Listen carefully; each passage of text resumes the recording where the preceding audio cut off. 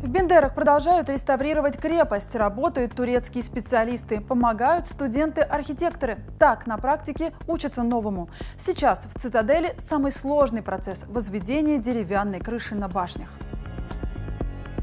Изучить планы и схемы, пообщаться с турецкими реставраторами, взобраться на самый верх по строительным лесам. Так проходит практика у студентов-архитекторов. Они здесь шестой день. Реставрация цитадели на новом этапе. Сейчас здесь возводят крыши над башнями. Процесс сложный турецкие специалисты показали чертежи, все планы, как эта стропильная система там будет выглядеть.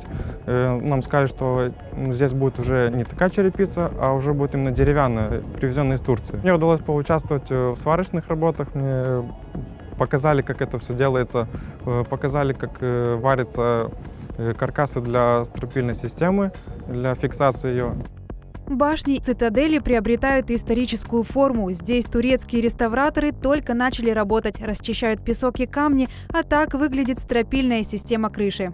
Стропильная система а, возводится на второй башне цитадели.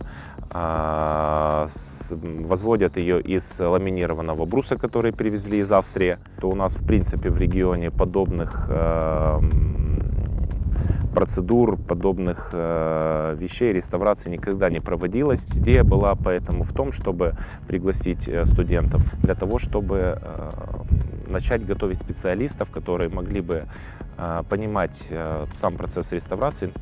На восточной стене цитадели решили провести эксперимент. Самый проблемный участок – трещина. Все исправили, камни старой кладки выпилили и заменили на новые. Будущему архитектору Сергею тоже удалось поучаствовать. На этом участке нам дали немного попробовать э, провести кладку камня. Мы вначале э, разложили раствор и затем устанавливали камень. И получается на данный момент этот участок уже подготовлен к заливке специальным раствором. А студентка Александра узнала, как спасти древние стены от воды. В самой крепости происходит очень большой перепад э, высот. Э, он составляет 2 метра. И из-за дождей э, происходит большое скопление воды. И благодаря этому, из-за этого по краю стены сделали дренаж. Это специальная система водоотведения, чтобы вода уходила и, собственно, не разрушала стены.